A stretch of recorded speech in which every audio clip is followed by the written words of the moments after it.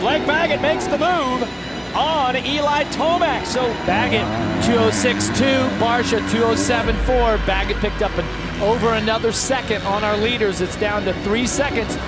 And Baggett make a push all the way up to the front here. Ken Roczen had a little breathing room right there, had a chance to get his heart rate down, control his breathing, but now it's surely an unbelievable oh,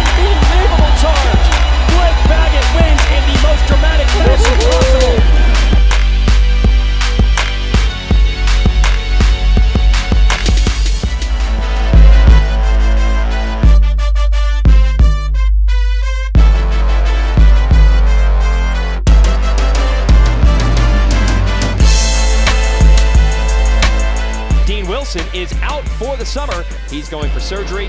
That means now his team has to put its hopes in Baggett. Well, Baggett talks consistency because he won Hangtown last year and crashed in this race last year. Can he fix that in 2012? The 30-second card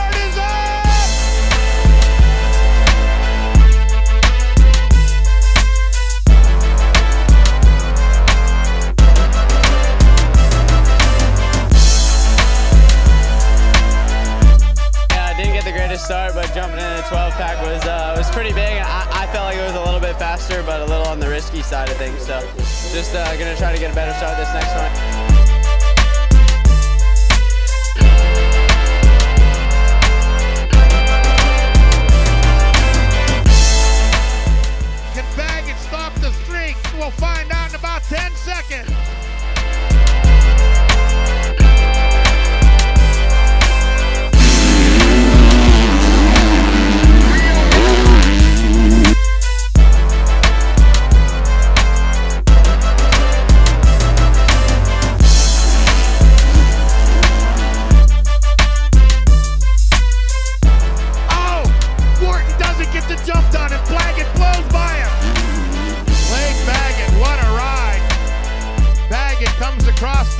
In the number two spot.